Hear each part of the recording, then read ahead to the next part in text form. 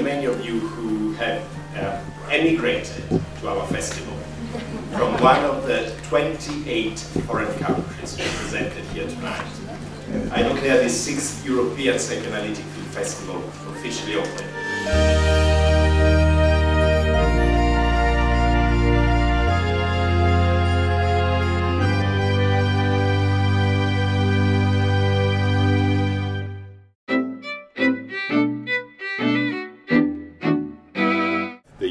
European Psychoanalytic Film Festival is an initiative of the Institute of Psychoanalysis uh, to create a forum where for three, four days, every two years, psychoanalysts, filmmakers, film critics, film scholars would get together to discuss films.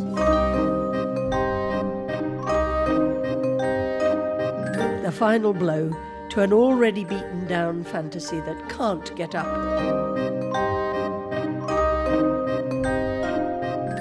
How did you feel in the centre with each group and going from one to another? We strongly believe that uh, there is a space where psychoanalysis and cinema can talk to each other. Here in this film, it is men's turn to speak about themes that they do, do not address very often. When I first heard that uh, they want to select that the down film get selected here, I was like, wow, wow, this is amazing. What I want to thank you mostly for is the landscape, the wonderful, wonderful landscape, which is, to my mind, a psychoanalytic picture in itself. I always do my film by instinct and uh, I never think too much because if I think too much, I don't do nothing. Um, it's like listening to a conversation in another room with a wine glass, you know? It's like hearing echoes of things which um, just spark things off. Some of them are, are really very uh, rare films. Uh, I haven't heard about them. You know, in the big festivals, these films are never really shown, or I haven't seen them this year. So I like to discover things. My knowledge in psychoanalysis and film studies is really shallow, but obviously I know Laura Mulvey and uh, Jan Christie, so I'm really looking forward to seeing them because they are kind of big names in the area. It's very sincere, uh, at the same time as playful homage to different genres of film, different periods, different types, different directors. Polish cinema is, is actually very special amongst European national cinemas. It's shot black and white and it's about Stalinism. Nobody believed that it can be such successful. And it was. It was an exceptional success. It was. The audience is marvelous. I mean, you know, I, I got like dozens of, of Q&As and, and it's just, people are so smart here and I had really great time, great time. Uh, the festival this year has a general theme which is border crossing, migration across national and mental states. Uh, in other words, we are showing and discussing films that are directly about the problems related to uh, migration of people from one country to another, but also about different uh, mental states and the kind of transition from one state to another, the kind of problems that that um, uh, creates, and how film, uh, because of uh, the very nature of, of its medium, uh, can uh, represent such movements and such transitions from a state to a different one. The very history of psychoanalysis in terms of the people, if you like, the founding fathers, um, is saturated uh, with migration. Phase number three is the phase of a new identity with a selectively adapted ego, with the capacity of replacing the grief of the native homeland by a new feeling of forming part of the new society.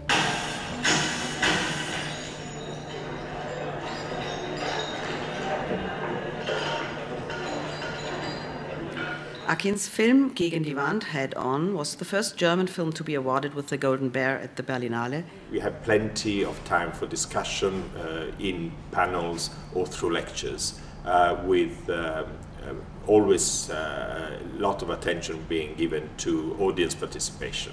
You're dreaming, you know, her life is so grim. She dreams of a better future, but at the same time, she's having nostalgia because she knows that will never happen. There is a very interesting dynamic of the two of them speaking their mother tongue and excluding Angela.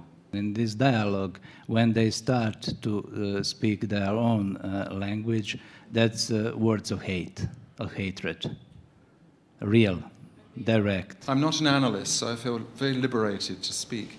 Uh, I wanted to ask about the third character because nobody's actually mentioned the woman, the female character, at all, mm. which I thought was really curious in the discussion.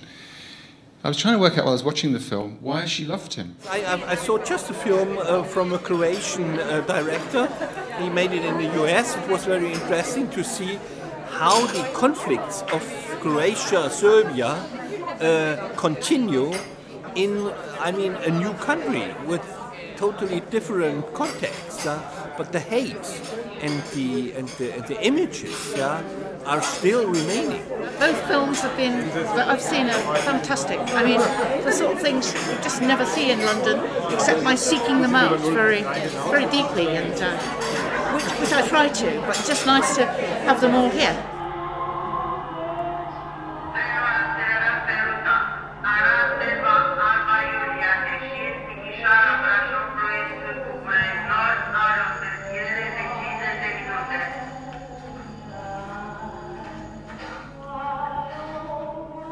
When I was watching it, I was actually uh, looking forward for it to be over to hear what you have to say because for every shot I was thinking what you are thinking. I was wondering what you're thinking. It's a must. It should be a must for every filmmaker to have his film screen in something similar to EPFF or to here, and uh, then be part of the discussion.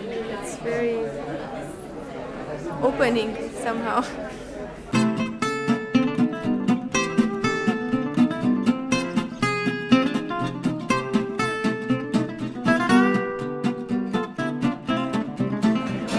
of, of, of academic disciplines and our own.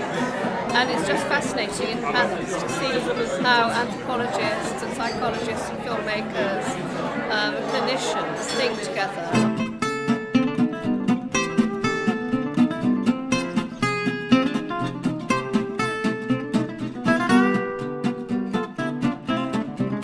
Kind of film that reflects on, on, on, on serious, uh, on realities of contemporary Spain, particularly of marginalized people. Just to contextualize our conversation, I'd like to say something about Powell and Cocteau.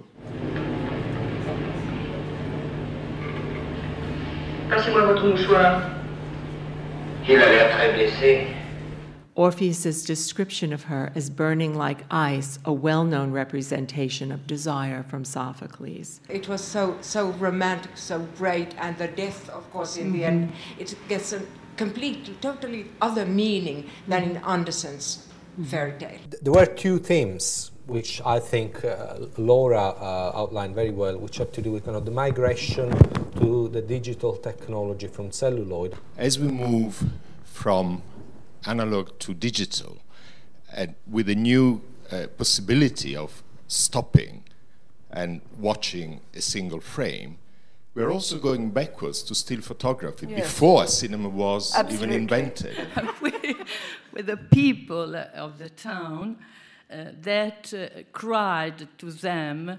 Uh, EU communist from Bologna, which is a famous red, uh, red communist town, go back Ça m'a donné beaucoup d'idées. Donc, euh, euh, c'est intéressant. Comme, euh, comme vous l'avez fait, c'est très intéressant. The best part of the day was waking up in the morning and knowing that we were coming here.